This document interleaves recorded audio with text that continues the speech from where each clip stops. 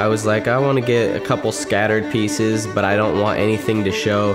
I didn't want to be judged. But once I got that first good one, I was like, uh, we're gonna we're gonna do some damage, you know.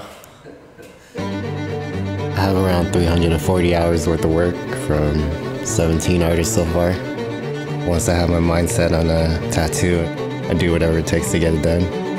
15 years ago, you wouldn't find somebody at Louis Vuitton store or the Gucci store with a tattoo on his neck or a tattoo on his hand. But now it's not a taboo anymore. That's almost like a requirement.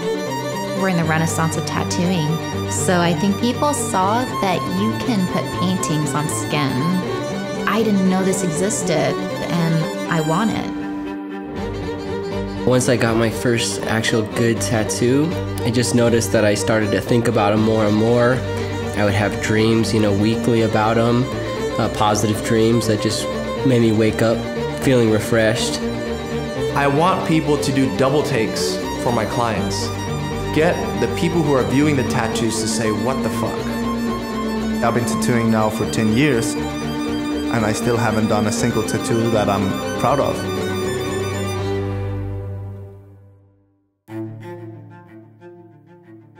My philosophy is that everything is attached to everything. I think food is one of the most creative outlets there is in this world right now. I think the sole reason that I'm a successful tattoo artist is that I used to be a chef. Like you would see in my tattoos, high contrast, I do high contrast food. It, it gave me the mindset to do what I do now. I would have been nothing without being in the restaurant business before. In the Scandinavian culture, we have something called Love yandi. You are not allowed to think you're something special success is not really honored like the American dream is. For me, uh, United States was a place where I can learn, where I can grow, and I push myself to try to be at the highest level. I was comfortable in Peru. I had two shops at the moment. I was the best in my country, but that's not the world. That's not enough for me. From being the head of a mouse I came being the tail of a lion, wanting to be the head. The camera is, is a big part of me.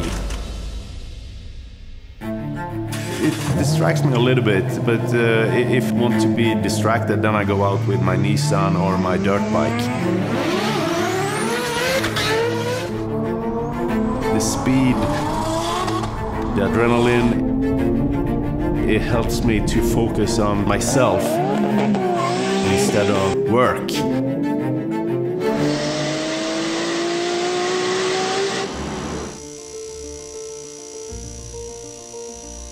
I cannot invent the, the wheel again, but you can always invent a story. And uh, then you can make the tattoo come even more alive. How do you do it today? How do you invent a style? I don't know. There is no plan from the beginning, uh, and it turns out to whatever it turns out to. Uh, I just love that it's it's so complex.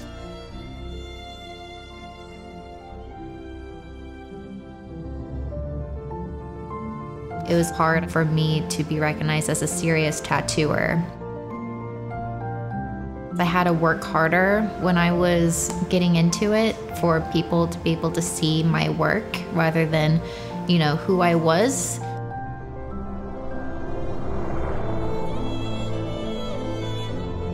And then I realized I've had all this training as a fine artist, and I don't see so much of that in the tattoo world.